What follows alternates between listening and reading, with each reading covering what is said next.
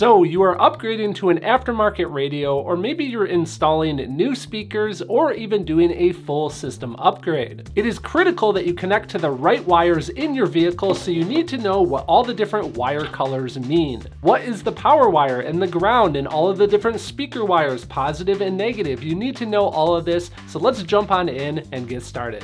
Now bear with me here because I'm sure that a lot of you that click this video were expecting just an easy list of wires to connect to in order to install an aftermarket radio in your vehicle. But here's the thing, I want to explain an important detail to you about today's latest vehicles. So with vehicles from 20 plus years ago, installing an aftermarket radio or even installing aftermarket speakers was super easy because a lot of times they used the same wire colors. Especially when it comes to installing an aftermarket radio, there was typically the same set of wires there. You had power, ground, you had a turn on or an ignition wire, and then you had the eight different speaker wires, four speakers, positive and negative for each. But with today's latest vehicles and everything being controlled over a data signal, a lot of times you're not gonna find all of those wires and you certainly aren't going to find them in the wire colors that you expect. But not all hope is lost, and that's because companies make devices like this that allow us to interface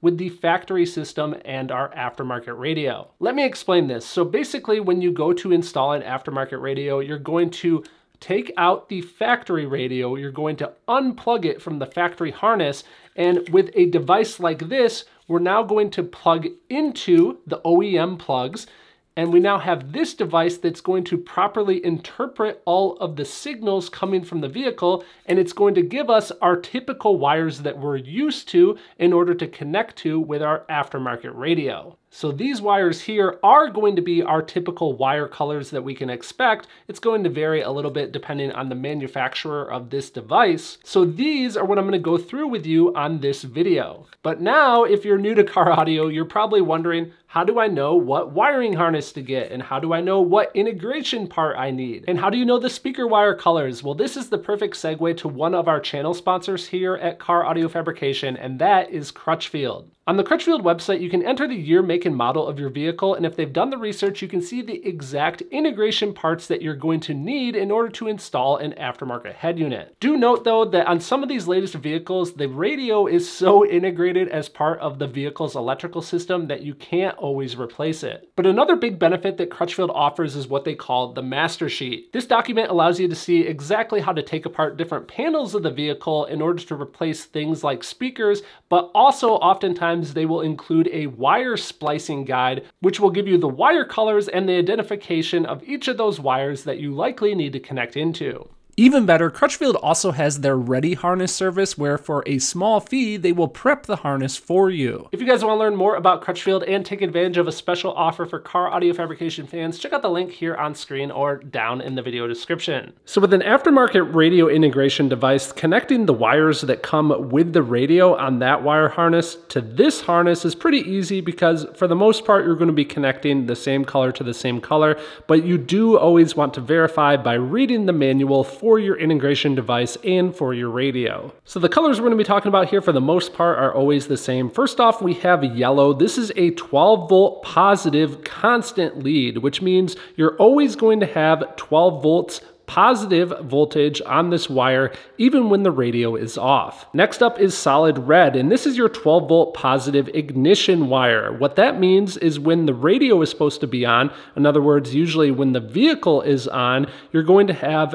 positive voltage on this wire. Next up is black, which is your ground wire, your negative wire. This is going to be connected to the chassis ground of the vehicle. Now orange, or oftentimes orange-white, depending on the wiring harness, this is your illumination wire. This allows your radio to know the illumination settings of the rest of the dash so that it can properly dim or adjust its brightness. A brown wire is oftentimes a phone mute control, and blue or blue-white is the antenna remote wire. Oftentimes you're gonna be using this as a turn on lead to turn on aftermarket amplifiers. So the radio or the interface device kind of controls this wire in a way, and it's only going to give you that 12 volt switched positive turn on lead when the radio is on, telling your amplifiers to turn on. From here, we have all the different speaker wires, and these are obviously always going to be a pair, and usually Usually the solid colored wire is your positive connection and the wire with a stripe on it is your negative connection. White is our front left, gray is our front right, green is our rear left, and purple or violet is our rear right. Now you may see other wire colors on the harness. A popular one here is this light green. In this case, this would connect to